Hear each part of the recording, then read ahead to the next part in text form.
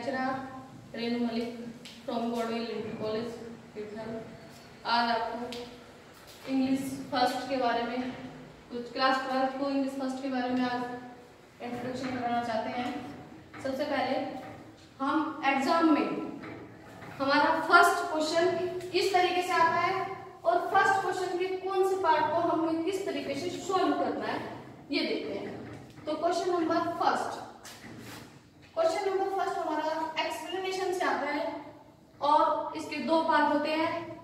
First A second B दोनों part हमारे eight eight marks के होते हैं। पहला फ़र्स्ट एक्सप्लेनेशन जो हमारा ए पार्ट है, वो प्रोज होता है। ए एक्सप्लेनेशन फ्रॉम प्रोज और बी एक्सप्लेनेशन फ्रॉम पोएट्री तो सबसे पहले हम देखते हैं कि हम एक्सप्लेनेशन को किस तरीके से करते हैं किस तरीके से हमें करनी चाहिए एग्ज़ाम में ताकि हमें अच्छे मार्क्स मिल सके। सबसे पहले हम उस पैसेज को लेते हैं जिस पैसेज के हमें एक्सप्लेनेशन करनी है। एग्ज़ाम में अच्छे से आप अपने पैसेज को पढ़िए कि भाई किस पैसेज को हम अच्छे से कर सकते हैं। तो देखिए, अगर आपको जो भी पैसेज करना है, हमने एक एग्ज़ाम्पल के लिए एक पैसेज के वर्ड्स लिखे हैं तो सबसे पहले उस पैसेज के फ़र्स्ट वर्ड्स जो आपको एग्ज़ाम में दिए गए और उसके बाद दो डॉट लगा दीजिए। उसके बाद लास्ट के वर्ड्स ले लीजिए, जो आपके लास्ट के वर्ड्स हैं। हम ये लिख देते हैं। उसके बाद हमारा जो फ़र्स्ट हेडिंग होता है, वो होता है रेफरेंस अब प्यारे बच्चों, अब ये देखिए कि हमें रेफरेंस किस तरीके से प्रोज का करना होता है और किस तरीके से हमें पोएट्री का रेफरेंस करना होता है। दोनों में डिफरेंसेस होता है और दोनों के सॉलिड मार्क्स हैं। आपको टू मार्क्स रेफरेंस के लिए टू कॉन्टेक्स्ट के लिए और फोर मार्क्स एक्सप्लेनेशन के लिए मिलते हैं।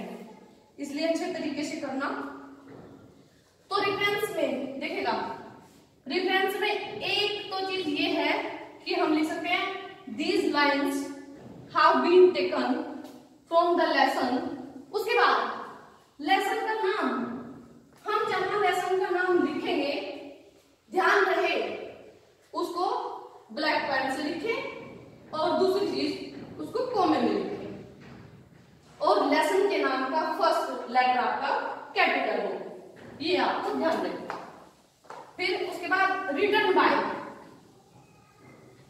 रिटर्न बाय उसके बाद जो भी आपके राइटर या ऑथर हैं उनका नाम ये आपकी प्रोज की एक्सप्लेनेशन का रेफरेंस है। और इसे दो तरीके से लिख सकते हैं। फ़र्स्ट जहाँ हमने लिखा है दीज लाइंस यहाँ हम लिख सकते हैं दिस पैसेज यहाँ लिख सकते हैं हम दिस पैसेज और फिर यहाँ हैव की जगह लिखेंगे has this passage has been taken from the lecture with the basket written by William C Douglas इस तरीके से हम रेफरेंस करते हैं प्रोज का। अब प्रोज में और पोएट्री में क्या डिफरेंस है? जहाँ हमने लिखा है, देखो, यहाँ हम पोएट्री की एक्सप्लेनेशन करने के लिए भी हम लिख सकते हैं these lines have been taken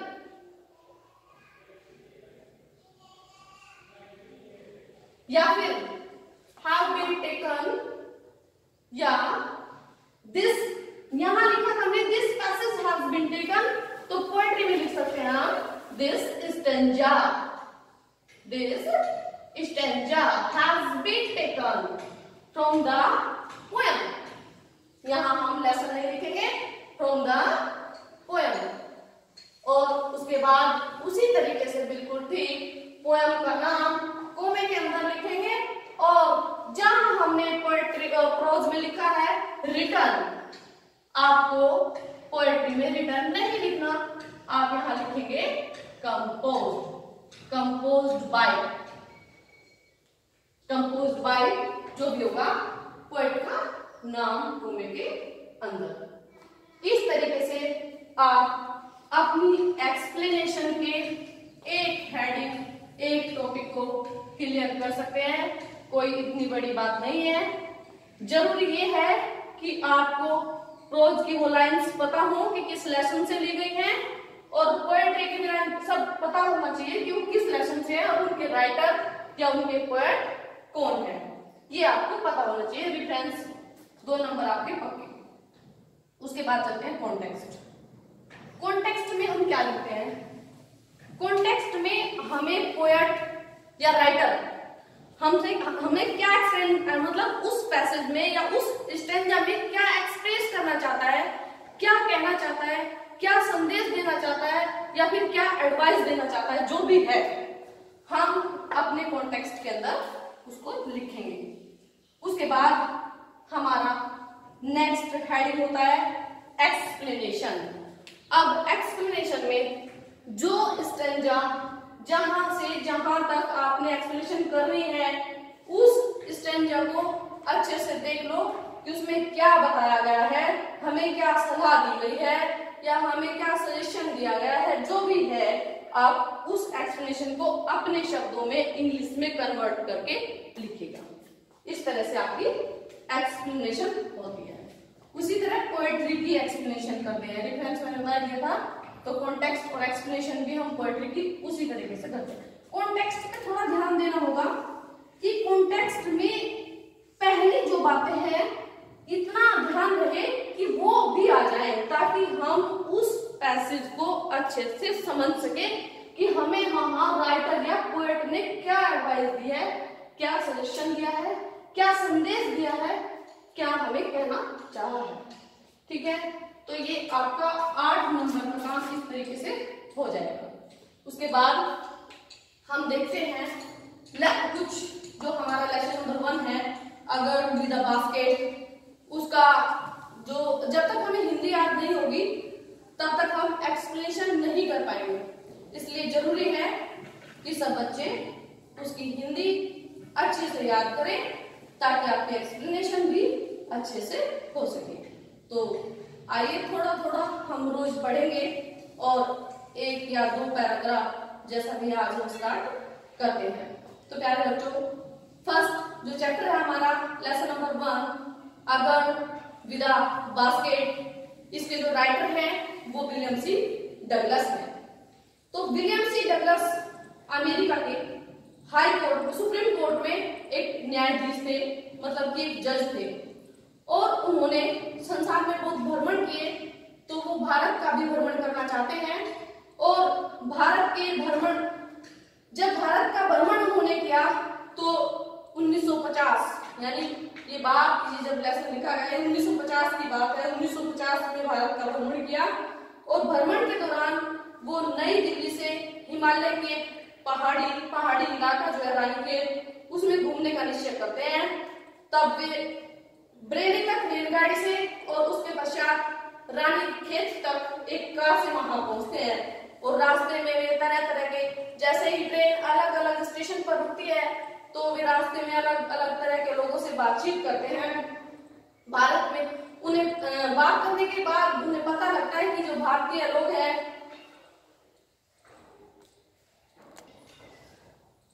कि भारतीय जो लोग हैं, वो गरीबी में भी स्वाभानी स्वाभिमानी और उदार हैं।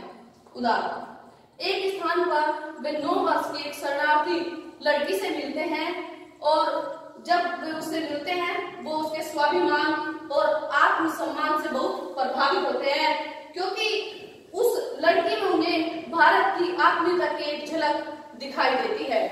और क्योंकि उस लड़की को वे ग्रेजुएटी के रूप में कुछ धन देना चाहते हैं, लेकिन वो लड़की उस धन को ग्रेजुएटी के रूप में स्वीकार न करके उन्हें वापस दे देती है और कहती है कि भीख मांगने से अच्छा मरना पसंद करेंगे। तो देखिएगा लेसन नंबर वन इसका जो फ़र्स्ट टेक्स्ट है पैसेज नंबर वन अब देखिए।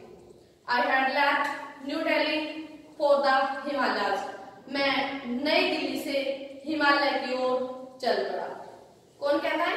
लेखक कह रहे हैं कि मैं नई दिल्ली से हिमालय के लिए निकल पड़ा, चल गया I was going as far as Bareilly by train मैं ट्रेन से बरेली तक ट्रेन से गया and then by car to Ranikhet और रानी खेत तक कार से। अब रानी खेत क्या है? An old British army hill station Ranikhet जो जगह का नाम बताया है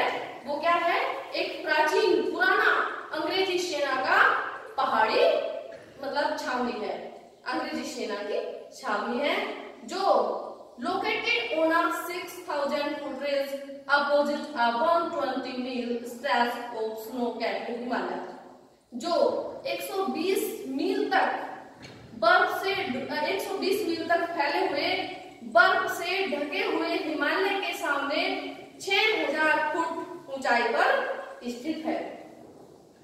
The train was slow train धीरे धीरे चल रही थी। And it stop at all the way station और यह रास्ते के हर स्टेशन पर रुकती थी। The train at every stop और प्रत्येक स्टॉप पर प्रत्येक स्टेशन पर I swung open the door of my compartment मैं अपने डब्बे का दरवाज़ा खोलता था एंड वॉक द प्लेटफॉर्म और प्लेटफॉर्म पर घूमता था। The platform were packed with people platform पर बहुत भीड़ थी यानी कि लोगों से भरा हुआ था और वहाँ कौन कौन लोग थे Sikh Muslim Hindu soldiers merchants priest porter beggars hawkers ये सब लोग वहाँ मौजूद थे ऑलमोस्ट एवरीवन लगभग प्रत्येक व्यक्ति वाज बेयरफुट नंगे पैरों था and dressed in loose white garments और सफ़ेद ढीले वस्त्र पहने हुए था। I would ask at least three people मैं लगभग तीन लोगों से बातचीत करता था। Before I could find one who spoke English तब मैं ऐसे व्यक्ति से मिलता था जो इंग्लिश बोल सके। We would talk world affairs हमने संसार के कार्यकलापों पर बात हम संसार के कार्यकलापों पर बातचीत करते थे। एंड एवरी मेजर टॉपिक और प्रत्येक उस मुख्य बिंदु पर बातचीत करते थे। The news of the day produce जो दिन प्रतिदिन की खबर होती थी। अर्थात हम दिन प्रतिदिन की खबरों और सांसारिक मामलों पर बातचीत करते थे। इन दिस वे रास्ते में I was trying to get a feel of the pulse of the nation इस प्रकार मैं आधिकारिक दृष्टिकोण तथा checking opinion against official institute and reports इस प्रकार मैं क्या करने की कोशिश कर रहा था? मैं अधिकारी, यानी जो ऑफिशियल थॉट्स थे ऑफिशियल ओपिनियंस थे एंड रिपोर्ट जो वहाँ की खबरें थी, उनके विरुद्ध विचारों के माध्यम से राष्ट्र के प्रति उनकी भावनाओं को जानने का प्रयास कर रहा था। तो प्यारे बच्चों, आज हमने एक पैसेज पढ़ा है। आप प्लीज़ घर पर उसको बार बार अच्छे से पढ़िए। ताकि आप एक्सप्लेनेशन अच्छे से कर सकें। अब पैसेज नंबर टू हम कल करते हैं। आज के लिए इतना ही। धन्यवाद।